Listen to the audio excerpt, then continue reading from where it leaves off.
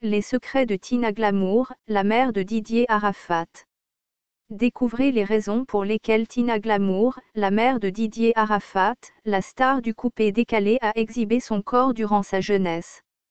Logebo Valentine alias Tina Glamour, à l'instar de son fils, a été une artiste qui a véritablement marqué son temps dans les années 90.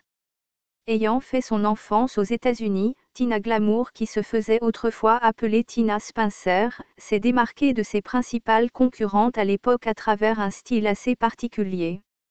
Exhiber ses rondeurs faisait partie des habitudes de Tina Spencer, une pratique qui ne passait pas inaperçue.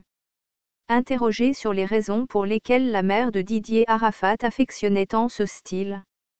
La mère du Déchiquant a dévoilé ses motivations, relayées sur les réseaux sociaux par Mediaprime. J'ai été une femme battue dans son foyer. Après mon divorce, j'avais donc la rage. Je voulais Michio mon ex-époux qui m'a abandonnée seule avec mes enfants, lui montrer que malgré mes accouchements, j'avais encore de beaux restes. D'où le style que je me suis imposé. Dieu merci, mes accouchements n'ont pas joué sur mon physique, sur mon corps comme les vergetures par exemple. C'est vrai qu'avec l'âge, on prend du poids.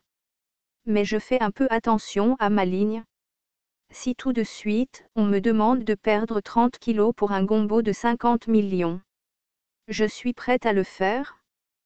Car je m'adore. Je mise sur mon corps, a confié Tina Glamour. Abonnez-vous pour ne rien rater.